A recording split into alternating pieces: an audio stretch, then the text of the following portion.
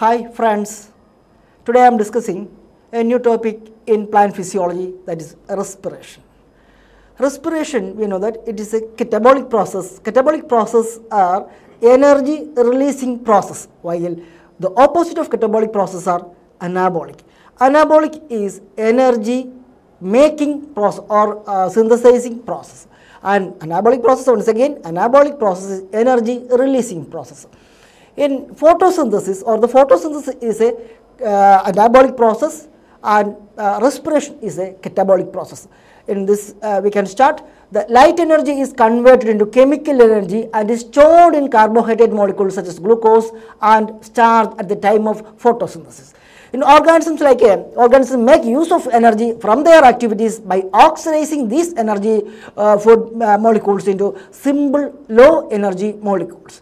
The reaction involved in the process of oxidation are known as respiration because oxygen is involved in the breakdown of heavy molecules or energy rich molecules. The compounds that are oxidized, in, oxidized during the process of respiration are called respiratory substrates. In most cases, respiratory substrates are synthesized by photosynthetic reaction.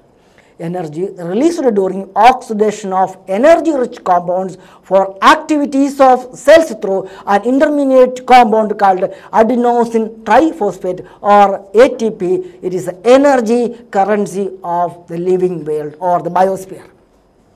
The reaction that occurs is in respiration of glucose is summed up like this C6H12O6 and some enzymes are involved in the reaction and finally 6 CO2 means 6 carbon dioxide plus 6 H2O plus energy.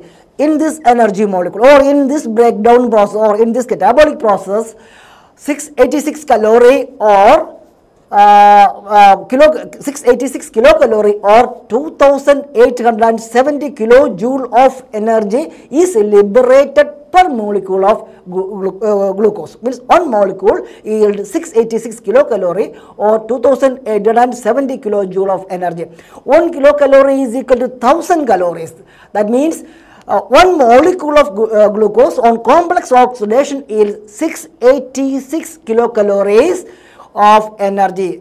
That means 6 lakh 86,000 calories. Main facts associated with the respiration.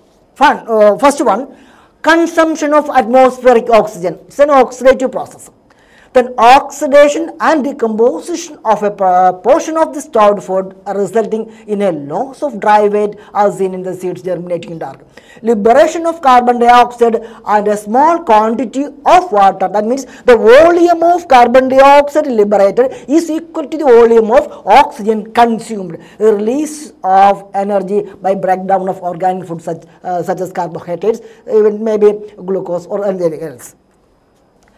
Now we go to a respiratory substrate. We know that substrate or the things which the respiration happens. This already we told that respiration happens in a substrate. These respiratory substrates are those organic substances which are oxidized, oxidized during uh, respiration. High energy compounds. They may be carbohydrates, fats and proteins. These are the compounds, they are high energy compounds which are utilized or used uh, in the respiration or the respiratory, they are called respiratory substrates. Carbohydrates such as glucose, fructose or hexose sugars, sucrose, disaccharides or starch, inulin, hemicellulose, they are called polysaccharides. These are the respiratory substrates in some cases or in rare circumstances when carbohydrate reserves are exhausted, fats and proteins also serve as respiratory substrates. There are two types of respirations. Uh, uh, respiration can be classified into two types. They are aerobic respiration and anaerobic respiration. In this topic, we discuss only aerobic process, uh, aerobic type of uh, respiration. Okay.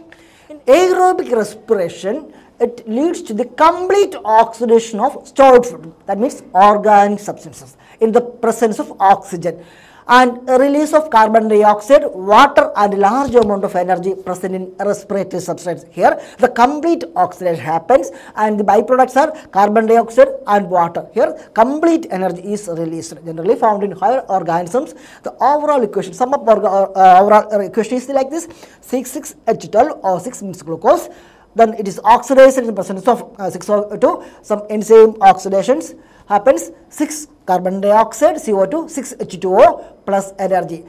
That means 2870 kilocalorie of energy is released during aerobic respiration. Next, anaerobic respiration. Respiration occurs in uh, complete absence of oxygen. Here the complete absence of oxygen happens. In the absence of oxygen, many tissues of hair plants, seeds in storage, fleshy fruits, uh, and succulent plants such as cacti, they are temporarily took anaerobic respiration. Generally occurs in lower organisms like bacteria and fungi and result in incomplete oxidation. Here it is incomplete oxidation of stored food and formation of carbon dioxide and ethyl alcohol uh, in place of uh, water. Here it is uh, ethyl alcohol in anaerobic expression, water in aerobic respiration That is the reference. And various organic compounds such as malic acid, citric acid, oxalic acid, tartaric acid, etc. Here the energy overall uh, uh, equation is here C6H12O6 but the formation of ethyl alcohol happens to C2H5 or 2 molecule of ethyl alcohol is formed and 2 molecule of carbon dioxide plus energy. Energy is very little 247 kilojoule uh, or 28 kilocalorie energy is only liberated during anaerobic respiration. Now we go to the mechanism of respiration. In, uh, in this topic or mechanism, we have two uh, phases in respiration. First one glycolysis and second one Krebs cycle. What is the difference? You can do, uh, look, glycolysis uh, during respiration, carbohydrates are converted into pyruvic acid uh, through a series of enzymatic reaction known as glycolysis, which takes place in cytosol, in cell itself or cytoplasm itself.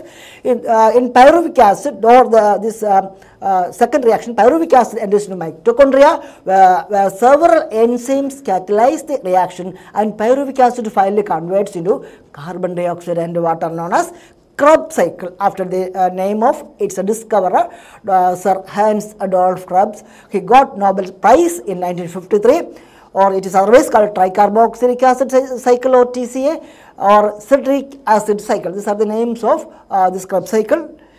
Now go to the uh, details of glycolysis sequential series of reaction present in a wide variety of tissues that uh, starts with the hexose sugar, usually glucose, and ends with pyruvic acid.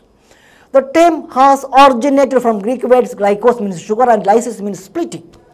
The scheme of glycolysis was discovered by three German scientists, Gustav Embden, Otto Meyerhof, and Jeparnas and therefore uh, referred as EMB pathway, EMP pathway after the abbreviation of their last names.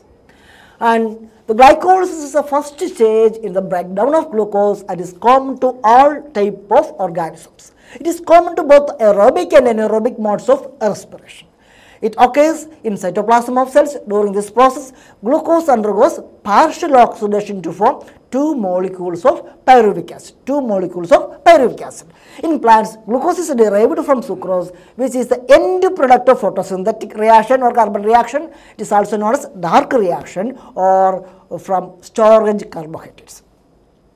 Sucrose is converted into glucose and fructose by the enzyme invertase and these two monosaccharides means glucose and fructose enter into glycolysis or EMP pathway and steps uh, of glycolytic pathway.